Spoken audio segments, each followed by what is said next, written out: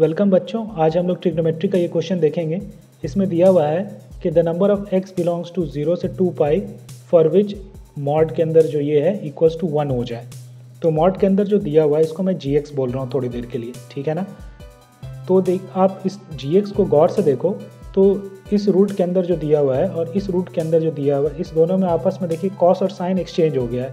यहाँ टू के साथ साइन है तो यहाँ टू के साथ कॉस है, यहाँ एटीन के साथ कॉस है तो यहाँ एटीन के साथ साइन है। तो इससे ये पता चल रहा है कि अगर x के बदले x plus pi by two put कर दें जी में तो ये वाला टर्म जो है, वो ये बन जाएगा और ये वाला टर्म आपका ये बन जाएगा।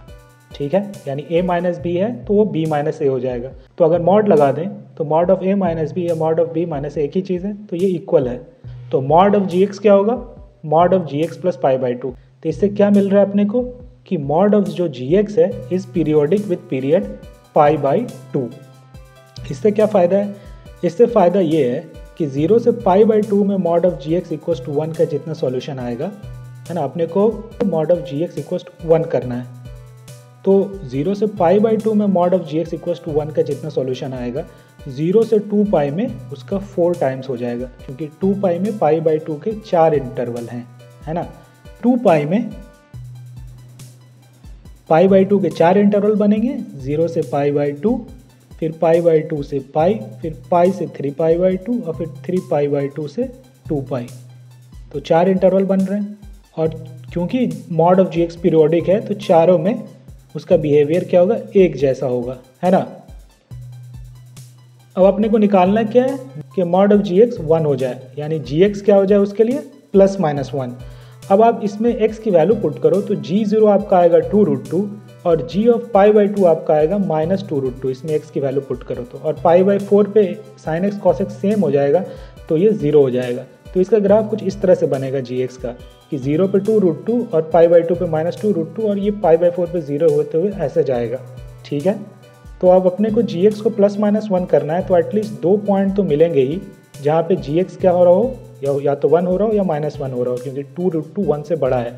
एक पॉइंट अपने को ये मिल जाएगा और एक ये मिलेगा। एटलीस्ट टू मिलेगा। ठीक है ना? तो ज़ीरो से पाई बाई टू में दो पॉइंट मिल रहे हैं, जहाँ पे G X plus minus one हो तो ज़ीरो से टू पाई में कितने मिलेंगे? फोर इंटू टू यानी एट तो मिनिमम सॉल्यूशन होगा ही होगा। ठीक है? ज़्यादा भी हो सकता है।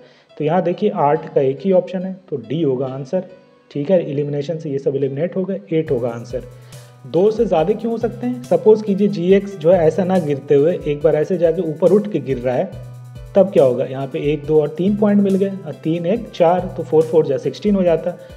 लेकिन ये जी एक्स अगर आप यहाँ पे डायरेक्ट ही गिरेगा और ऐसे ऊपर नीचे उठ होके उठ करके नहीं गिरेगा। और इस चीज़ को चेक करने के लिए आपको क्या करना होगा? जी जी एक्स को डिफ्रेंशिएट करके जी डैश एक्स निकालना होगा और ये चेक करना होगा कि G dash X less than zero हो इन इंटरवल ज़ीरो से पाई बाई टू और आप देख सकते हो ये लेस देन ज़ीरो आएगा। और इससे ये हो गया कि जी एक्स एक डिक्रीजिंग फ़ंक्शन है तो ये डायरेक्ट गिरेगा तो एग्जैक्टली अपने को दो ही पॉइंट मिलेंगे ज़ीरो से पाई बाई टू में। तो सो तो ज़ीरो से टू पाई के बीच में एग्जैक्टली आठ ही पॉइंट मिलेगा तो ये एट ही होगा आंसर ठीक है? आई होप कि आप लोगों को समझ में आया हो। आज के लिए इतना ही। Thank you